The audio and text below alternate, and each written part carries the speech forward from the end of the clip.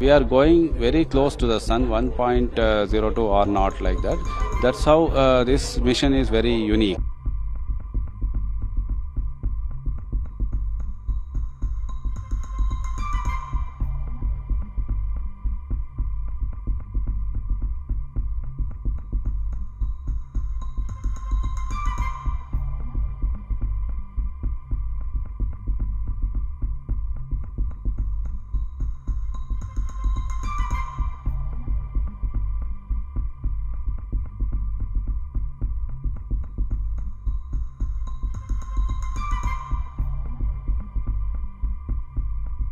This is a unique uh, mission, though other two uh, missions were flown like uh, so, uh, Soho and other things by, uh, uh, by this European Space Agency and NASA.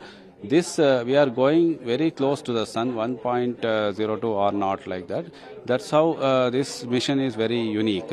So at the same time, uh, uh, very uh, high risk is there. Like we are, since we are going very close to the risk, ve- ve- very close to the sun, so disk light leaking into the system is a big disaster. So that is taken care at the in the design level. Uh, with uh, tight uh, tolerance and uh, dimension stability, so, that uh, the disk light uh, will not reach. And we have tested that in many platforms. So, and after integration of all these things, it has gone through a thorough test to survive in the space environment and launch loads. And this whole test, survivalence test, everything is done in ISRO uh, facilities uh, like uh, vibration, acoustics, and thermal, and all these things.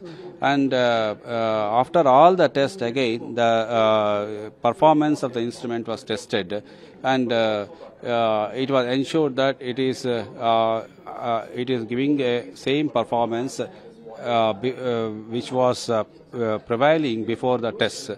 So uh, this ensured that uh, our instrument will uh, survive all these launch loads and also this orbital heating loads and other things, and it will give the same performance as well in space what it delivered in the lab.